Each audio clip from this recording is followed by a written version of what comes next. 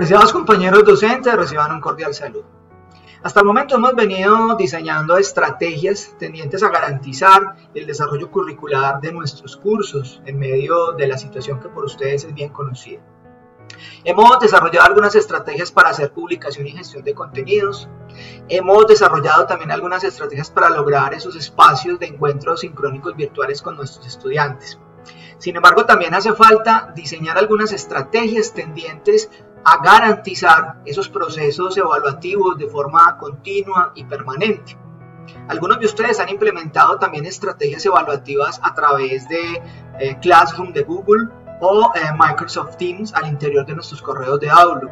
Hoy les traigo una herramienta de fácil uso, sencilla, gratuita, que permite por un lado evaluar a los estudiantes en línea definiendo tiempos y espacios para que el estudiante acceda a los cuestionarios diseñados y por otro eh, nos permite a nosotros como docentes tener una base de datos con los estudiantes y con las notas obtenidas y los promedios acumulados. Esta herramienta se llama DatQuiz y es precisamente lo que vamos a desarrollar en este video tutorial. Lo primero que vamos a hacer es ingresar a la página de la herramienta. En nuestro navegador vamos a digitar DatQuiz tatquiz.org. Este es el escenario de esa herramienta, es un escenario muy sencillo. Primero, si tú no tienes cuenta, pues debes primero registrarte, el registro es sumamente sencillo. Hacemos clic en registrarse, digitamos nuestro nombre, nuestro apellido, una contraseña con la que tú posteriormente sigas ingresando, tu correo y simplemente haces clic en crear mi cuenta. En este caso, pues yo ya tengo una cuenta, voy a proceder a ingresar con mi correo y con mi contraseña. Muy bien. Y hacemos clic en entrar. Ya estoy adentro y lo primero que vamos a hacer es gestionar nuestros, nuestras clases o nuestros grupos. Vamos entonces a crear una clase nueva. Y yo voy a poner, esa clase se llama Teoría Administrativa. Muy bien, ITM. Y aquí pues es el espacio para ingresar los estudiantes. Obviamente no vamos a hacer un ingreso uno a uno, aunque se puede hacer, sino que vamos a importar de un listado que yo previamente tenga preparado. En este caso, eh, del CIA podemos descargar un listado de nuestros estudiantes con sus respectivos correos. Y yo voy a copiar, control C, los nombres de los estudiantes con su respectiva dirección de correo electrónico. Vamos para acá y aquí vamos a decir importar. Muy bien, nos aparece un cuadro y unos, eh, digamos, criterios que yo puedo establecer. Por ejemplo, me interesaría colocar eh, el nombre primero. Y importante que esa importación genere una columna para el correo electrónico. Y aquí simplemente copiamos, control B, todos los estudiantes con sus respectivos correos electrónicos y vamos a decir importar. Entonces observen aquí, ya tenemos el nombre del estudiante, su apellido o digamos en este caso su segundo nombre con apellido y su correo electrónico. Aquí nos quedó este correo, vamos a pasarlo para acá, muy bien, perfecto, perfecto. Entonces ahora sí vamos a decir guardar y ya tenemos nuestra clase de teoría administrativa creada con los estudiantes y sus respectivos correos. Ahora, vamos a diseñar un cuestionario. Aquí cuando yo me meto a otros exámenes, diseño, directorio o compartir, pues vamos a meter en este caso a diseño. Por defecto me trae todos los cuestionarios que yo tenga creados al interior de la plataforma, sin embargo vamos a crear uno nuevo a nivel de ejemplo que puede tener varias opciones. Preguntas de emparejamiento, preguntas con selección múltiple única respuesta o a partir de diapositivas. Vamos a ingresar y hacer un cuestionario de preguntas. Entonces digamos que este es el examen parcial 1, no sé, cualquier título, parcial 1. Aquí importante, eh, el orden. ¿Cómo quiero que salga el orden de las preguntas a los estudiantes? ¿En forma fija o variada? Vamos a poner que simplemente es una forma variada. Aquí es el espacio para colocar las preguntas. Hagamos un, un ejercicio sencillo, por ejemplo, capital de Antioquia.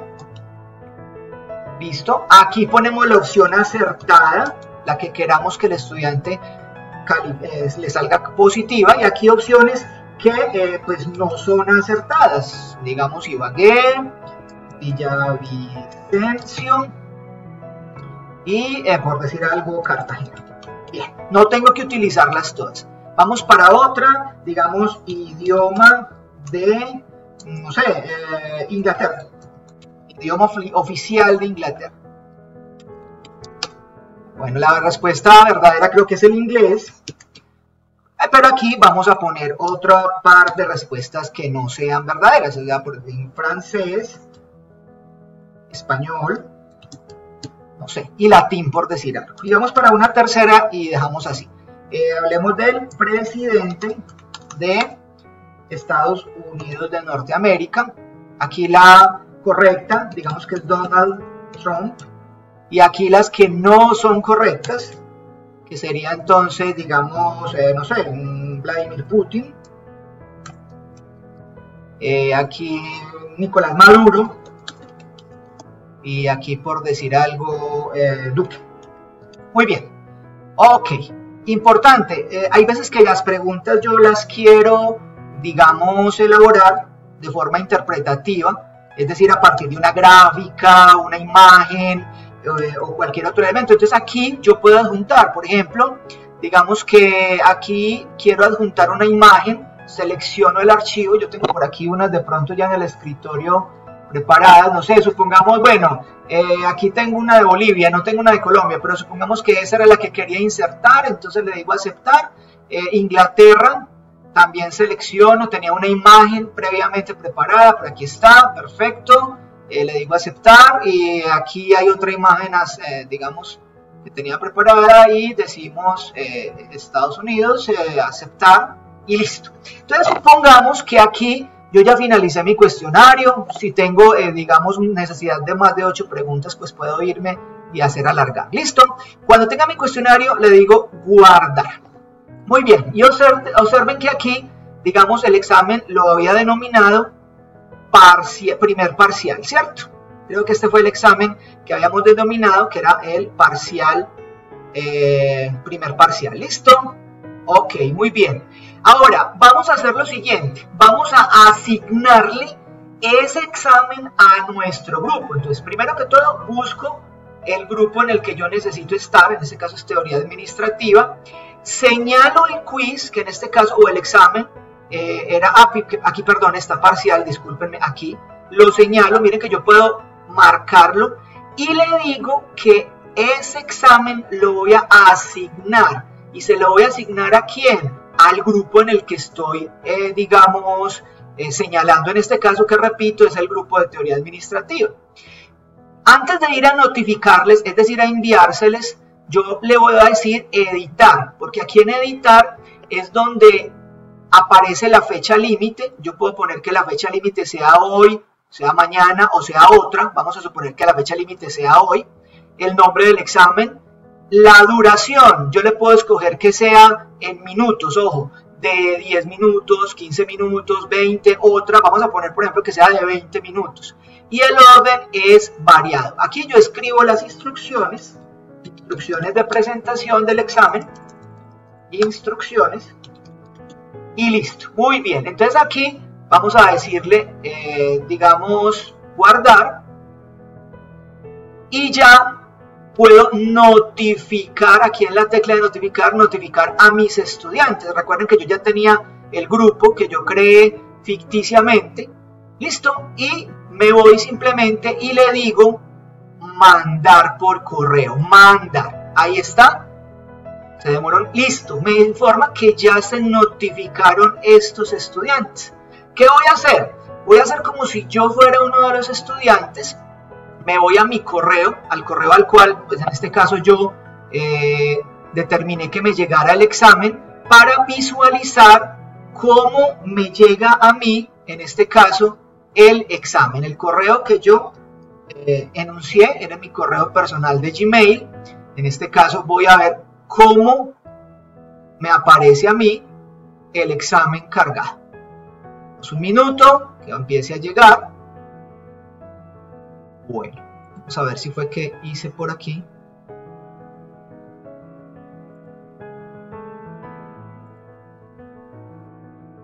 fue al de ITM, efectivamente. Aquí está.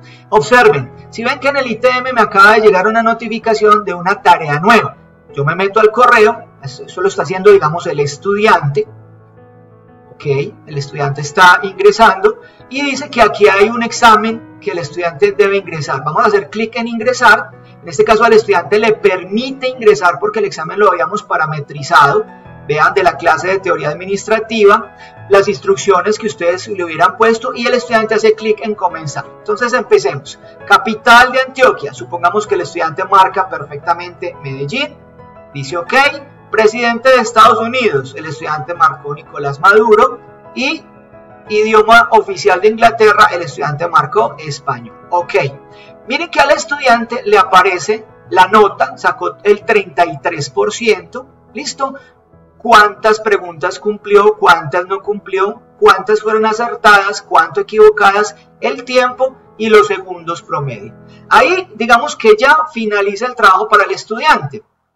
Ahora, el estudiante no tiene que hacer nada más, no tiene que enviarnos nada. Ahora, yo como docente me vengo para mi asignatura de teoría administrativa del ITM, teoría administrativa, y quiero mirar cómo van las notas. Entonces observen que aquí hay una opción que dice ver notas, aquí está el listado de estudiantes y aquí aparece la primera nota que el estudiante sacó 3,3 y el promedio está en 3,3. Si yo voy acumulando exámenes, exámenes, exámenes, pues me sigue apareciendo las notas, las notas de cada parcial y el promedio para el estudiante. Incluso puedo mirar en términos de la gráfica, cuál fue el rendimiento de mis estudiantes y en fin.